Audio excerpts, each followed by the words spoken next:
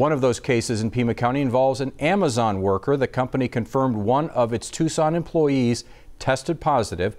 Amazon says it will notify any worker who has had close contact with that person and ask them to self quarantine for two weeks.